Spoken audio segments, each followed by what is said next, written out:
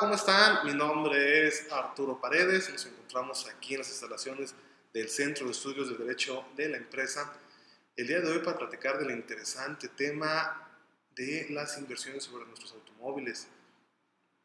Hoy en día proteger este tipo de inversión no solo se limita al hacerlo mientras lo conducimos, existen eventos cada vez más comunes que también están fuera de nuestro control, como son los desastres naturales.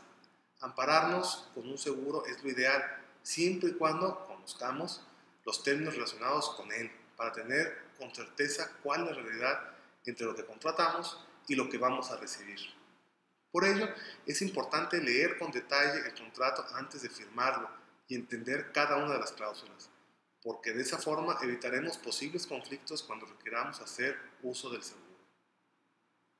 Pues bien, ¿qué es una póliza de seguros automotriz? Es un contrato que se celebra entre una institución de seguros y un particular.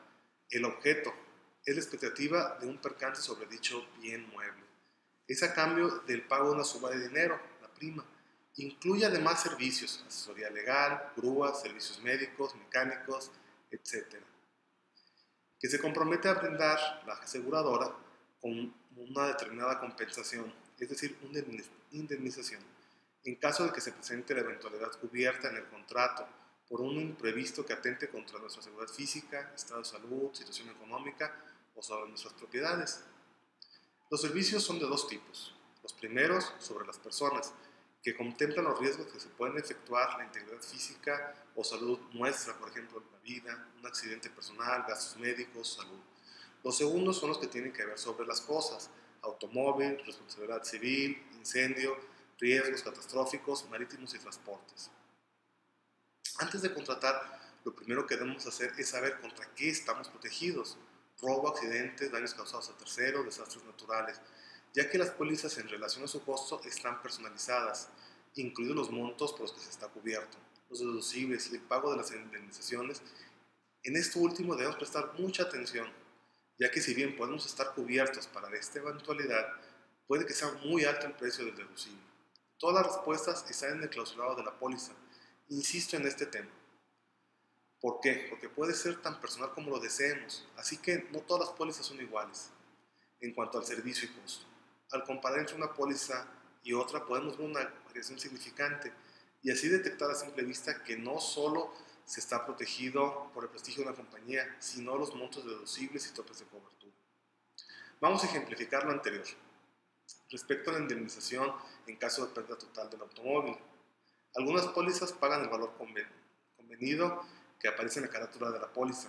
Eso es lo irrecomendable, ya que siempre es cierto lo que esperamos. Otras pagan el valor comercial y la definición que tenemos esta cambia y se torna subjetiva, a capricho de la aseguradora. Otros se hacen en referencia al valor acorde a la guía EBC, conocida como libro azul. Un punto crítico dentro del clausulado, que en lo particular debemos observar, es el seguro de responsabilidad civil, en el que no debemos hacer ninguna concesión. ¿Por qué? Siempre debemos tenerla cubierta al 100% en todo momento sin comprometernos a efectuar algún deducible.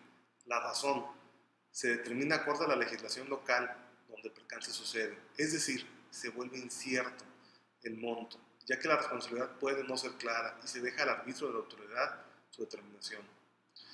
Existen muchas variables dentro del clausulado, que su desconocimiento nos puede hacer pasar momentos difíciles en una situación ya de por sí complicada. Pero como siempre, si sentimos que la aseguradora o su equipo de trabajo vulneran nuestros derechos, podemos acudir a una instancia distinta a la de la propia aseguradora, como es la Conducef, que esta es la autoridad competente para proteger nuestros derechos ante las aseguradoras. Bueno, pues esta reflexión les dejamos acerca de no solo por qué tener este, asegurados nuestros bienes, sino cómo hacerlo. Como siempre, lo mejor para todos.